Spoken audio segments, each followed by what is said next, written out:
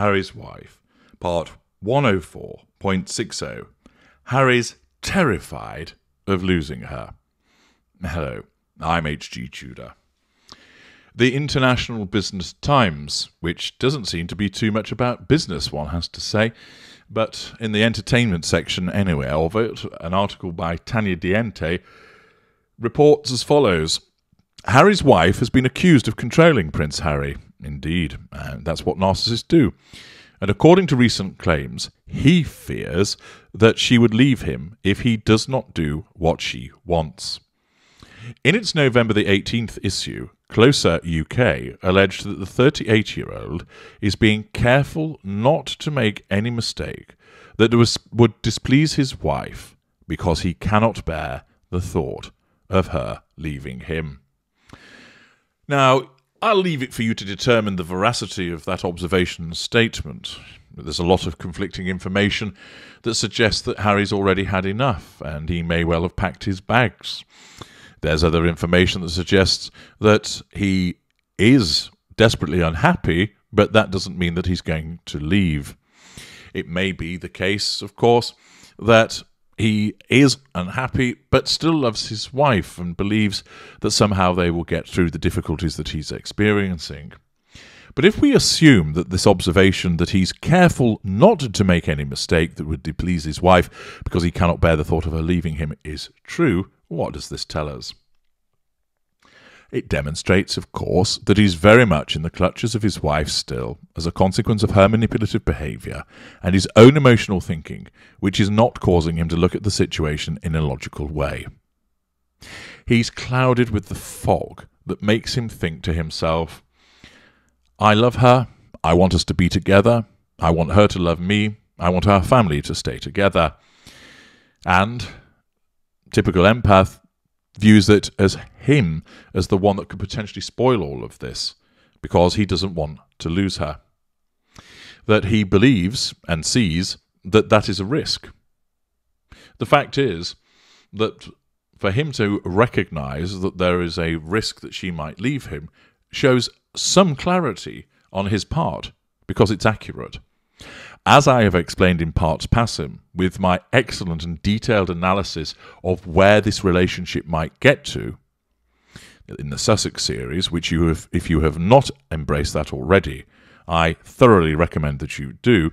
One of the options, of course, is that Harry's wife dumps him through disengagement, and I identified that there were three potential triggers for this. She swaps him out for somebody else, he breaks down, isn't as useful to her, or he becomes too difficult to control. And the fact is that him seeing that he might make a mistake goes within the control issue. He doesn't see it that way. If this report is accurate, he doesn't see that he's problematic with regard to the issue of control. Indeed, the mindset that's being exhibited here is the contrary of that, that he's trying to ensure that he doesn't cock things up, that he's showing that he is compliant. The article continues a source told the publication that while the Duke of Sussex is happy in his new life with Harry's wife, it has to be said that his face needs to be told that's the case then, because it doesn't demonstrate that he is happy. He does sometimes wonder what will happen if it all went wrong, and that terrifies him.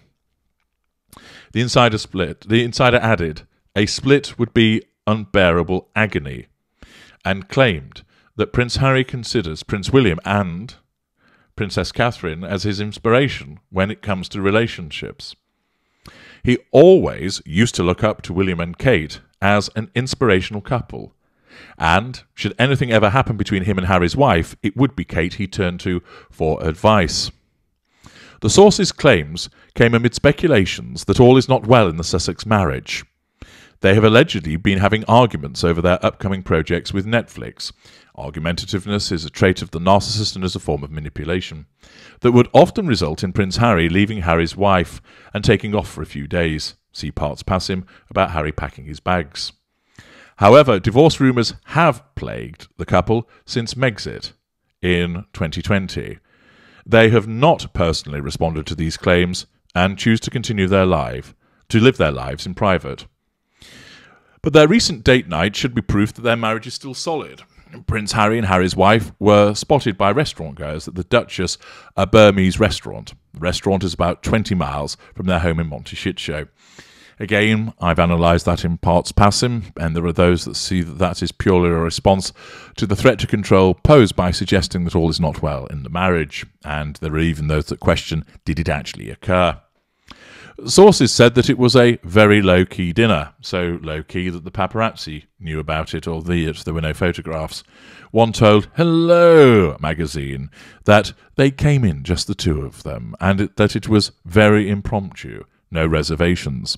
The insider added that the Duke and Duchess of Sussex loved the food, and that everyone said they were really great, and they had a very pleasant time.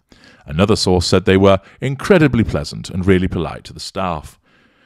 Prince Harry and Harry's wife have been married for four years. They share two children, Archie three and Lilibet one.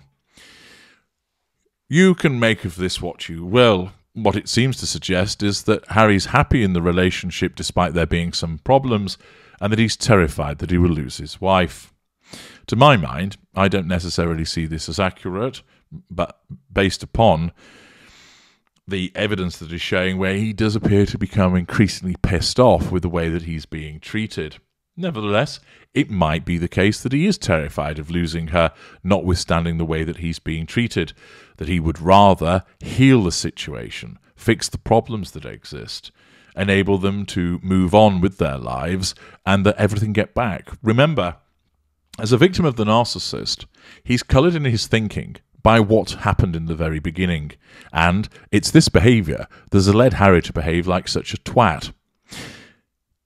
Along came this woman, and the narcissist in seduction. She went hell for leather to ensnare and embed him.